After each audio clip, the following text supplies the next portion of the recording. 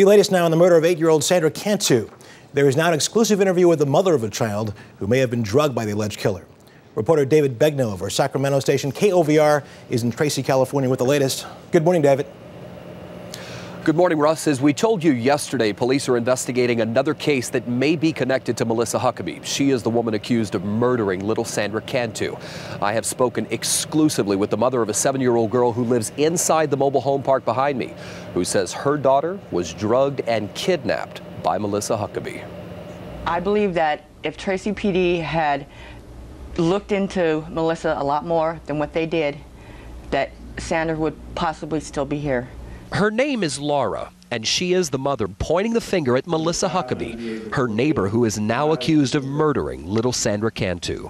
I was shocked, like everybody, but I had kept telling them to look into Melissa Huckaby a little bit more. Laura says last January, Huckaby took her daughter to a local park without permission. And when she came home, her daughter could barely walk. Did she tell you if Melissa gave her a pill? No, she didn't know. Did you ask her? I asked her, but she said that the only thing that Melissa got for her was a water from Wendy's.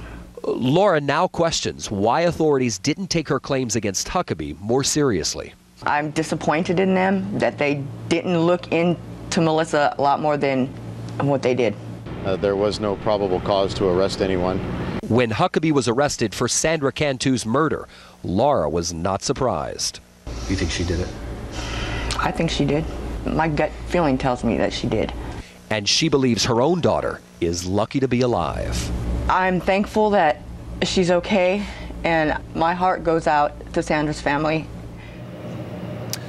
And so, given what Laura says has happened to her daughter, police have told her she could very well be called as a witness in the Sandra Cantu murder case. Russ? David Begnaud of station KOVR in Sacramento. Great work. Thank you so much for joining us this morning.